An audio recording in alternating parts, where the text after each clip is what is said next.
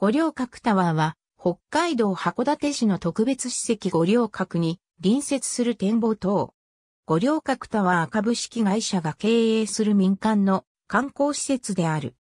現タワーと旧タワー現代表取締役社長、中野久志の祖父で、東京の不動産会社で北海道地区の担当役員を務めていた中野晋介が創業し、五稜郭追記100年にあたる1964年12月1日に初代タワーを開業。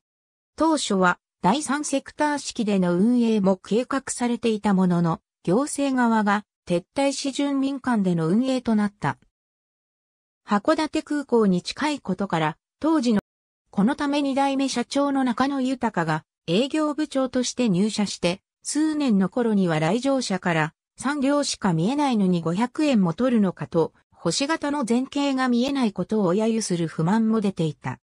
設立から15年ほどは赤字が続き、創業家が所有する東京の土地を売却し、赤字を補填していたが、1973年に放送された函館を舞台としたテレビドラマ、北の家族をきっかけに年間入場者が従来の20万人から30万人に増加し、その後1981年には台湾観光客の増加で40万人、青函トンネルブームの1988年頃には63万人、1992年には初代タワーのピークとなる92万人を数えた。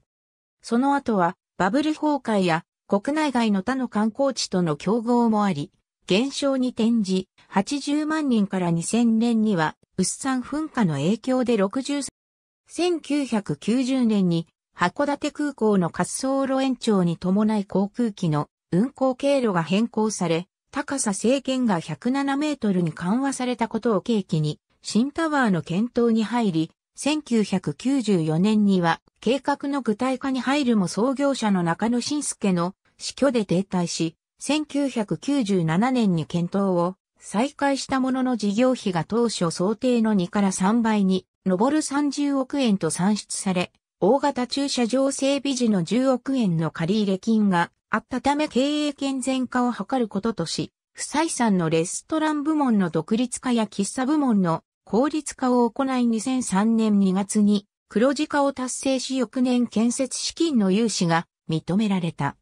その後北海道新幹線開業を見据えつつ、函館を代表する観光資源の五稜郭で低く、老朽化したタワーは、申し訳ないの新年のもと株主の理解を得て、2004年6月に新タワー計画を正式発表。2004年11月に総工費30億円を投じて着工。建設地には旧タワーの隣にあった料亭、両雲亭跡地が選ばれた。高さを決める際には、五稜郭から直線距離で 5km の場所に函館空港があるため、航空法により108メートルの高さまでと制限があり、平井張高で107メートルとなる。2004年11月25日着工、2006年3月31日、竣工、同年4月1日に開業。同年12月1日に、旧タワー跡地にアトリウムが完成し、グランドオープンした。あと新タワーオープン直後の年間入場者は100万人を記録し、その後90万人ほどとなるも2016年の北海道新幹線開業時には再度100万人台を数えている。新タワーの構造は五稜郭にちなみ断面形状を塔体は星型、展望台は五角形とした。また低層部とタワー部はマットスラブ基礎を共有しつつ、エキスパンションジョイントで分離されている。1階アトリウム新タワーの竣工に伴って、旧タワーは閉鎖、解体され、跡地にガラス張りのアトリウムが建設された。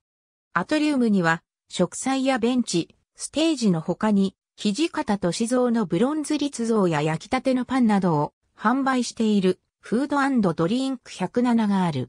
また、タワーの形をした手回しオルガンや函館五稜郭祭で使用する大砲が常設されている。イメージキャラクターは公募によって選ばれたゴーフト君。ゴーフト君は毎週土日用と祝日にアトリウムに登場するほか、オリジナルグッズが販売されている。ありがとうございます。